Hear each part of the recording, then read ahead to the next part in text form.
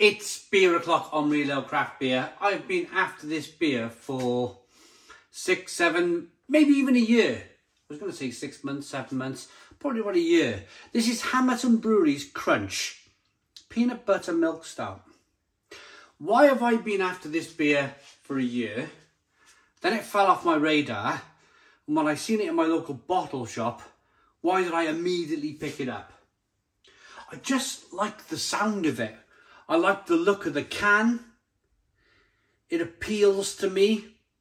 So I was super excited when it was £3.50. I thought, yeah, we'll have one of those. Hammerton Brewery, based in London.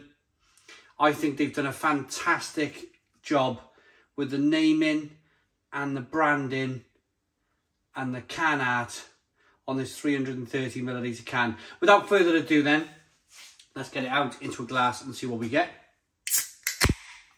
Nice bit of smoke on the can opening. Beer in the glass.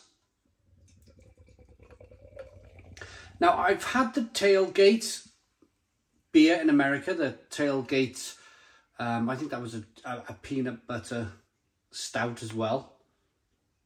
I like that from Tailgate. And funnily enough, in my local bottle shop, this was sitting next to the Tailgate. And I thought, how ironic. I've had the tailgate, wanted to try this crunch from Hammerton for a long time. And here it is in Cardiff, eight miles down the road.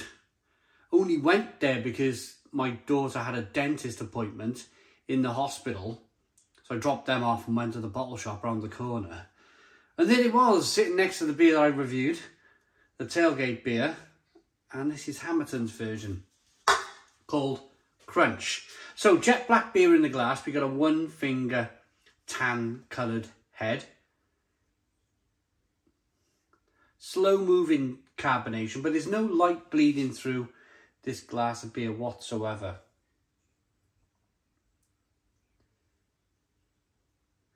Jet black beer in the glass. It looks great when you roll that beer around in the glass.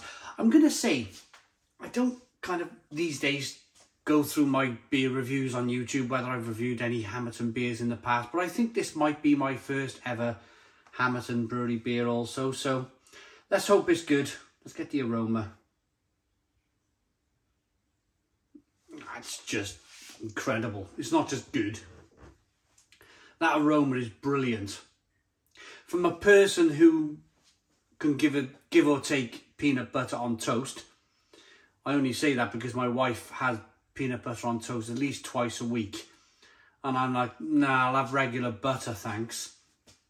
But in beer, peanut butter in a, in a stout is like different class, different level, different thing altogether. This smells so peanutty and wonderful, wonderful. I think the reason why they call this crunch is because you have two different types of peanut butter. You have smooth and crunchy. And this actually smells like crunchy peanut butter. Oh, it smells amazing from the roasted malt to the biscuiness and the breadiness of the malts in the beer to that wonderful peanut butter aroma. I'm ready to dive in. I wish I brought my wife a, gla a, can of this now. I just bought myself one. Cheers.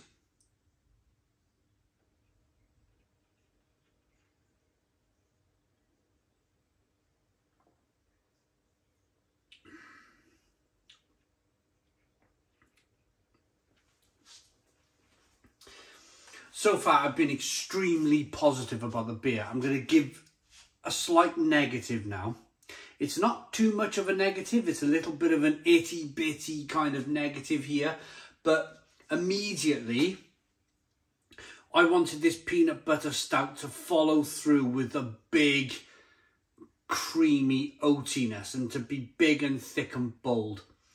It's a little bit like a dry Irish stout where it's a little bit thin for my liking.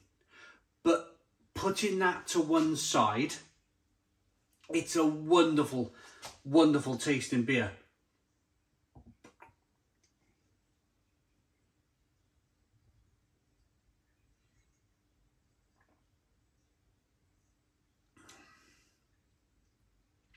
It has a really nice mouthfeel. In fact, for that 5.4% ABV, let's double check that. Yeah, 5.4% ABV. I think it's got the right amount of mouthfeel. And I will take back my previous comment. I'm not afraid to do that. I think sometimes in life, you need to take a second taste of your beer just to really concrete and, and, and shore up your your own kind of thought into into what you really think about the beer. If I'm being perfectly honest, and I've not looked at their website, and they may have done this on a personal level, I think they should make an imperial version of this and just stick it out. Make a make a 8 9 10 even up to 12% abv double crunch. Double peanut butter imperial stout but smash it with oats. Absolutely smash it with oats. And this very beer which is excellent excellent quality beer here would be just another level completely. I hope they've already done it. I hope they've already kind of had a bit of success with this beer and they've gone, yeah, okay, let's let's double crunch this and, and let's let's make an imperial version of this with loads of oats. In fact, after the beer review, I'll probably go and check to see if they they've done that. I wouldn't be surprised if they if they have like a limited release or something like that.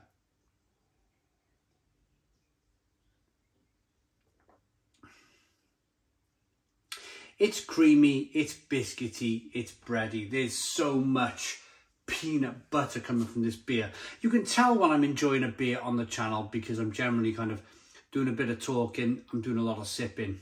Already, if the beer was up to here, I've already drunk half of the beer in the space of a few minutes. So that's a sign to you guys that I'm really, really enjoying this.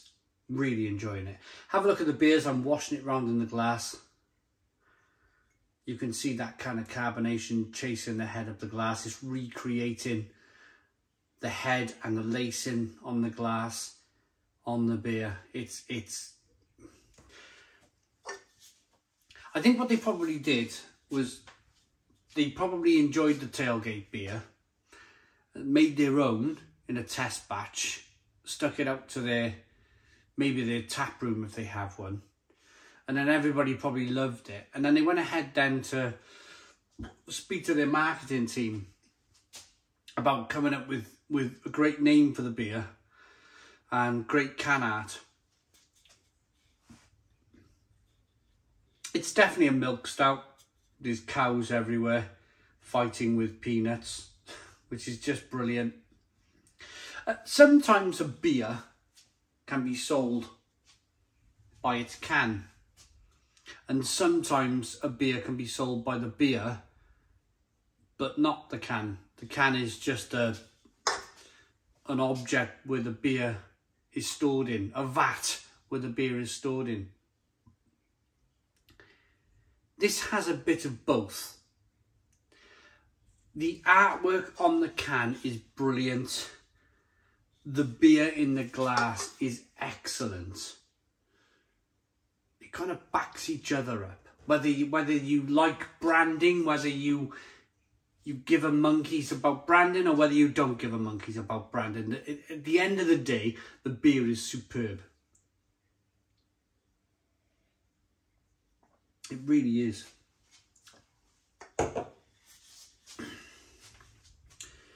Small, I mean, I'm 42 now, so I'm going to have to like close my eyes a little bit to read this writing. It's very small.